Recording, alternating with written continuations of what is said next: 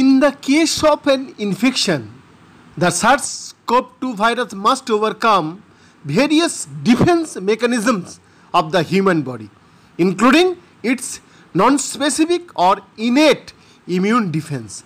During this process, infected body cells release messenger substances known as type 1 interferons.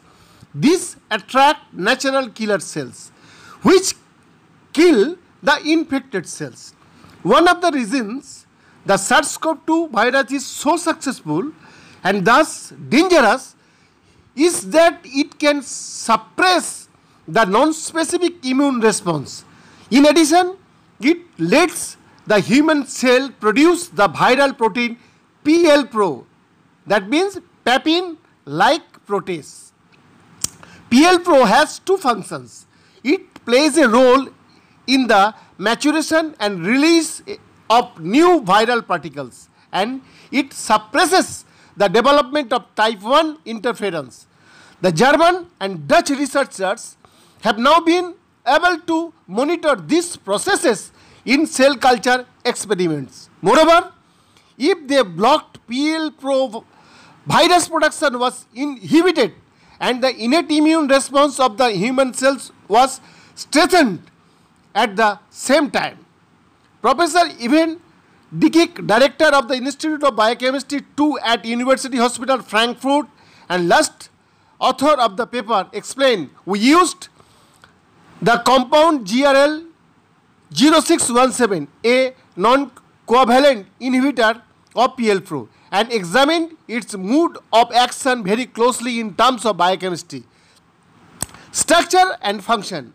We concluded that inhibiting PL-PRO is very promising double hit therapeutic strategy against COVID-19. The further development of PL-PRO inhibiting substances classes for use in clinical trials is now a key challenge for this therapeutic approach.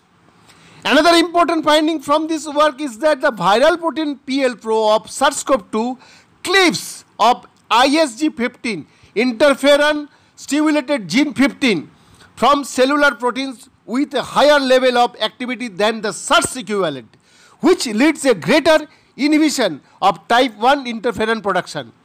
This is concordant, this is concordant with recent clinical observation which show that COVID-19 exhibits a reduced interferon response in comparison to other respiratory virus such as influenza and SARS.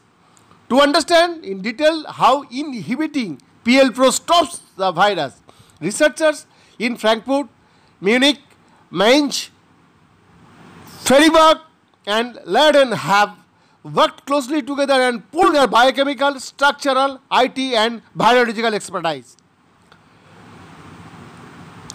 Donghang Sain post doctoral researchers and first author of the paper says, personally I would like to underline the significance of science and research and in particular emphasize the potential generated by a culture of collaboration. When I saw our joint result, I was immensely grateful for being a researcher.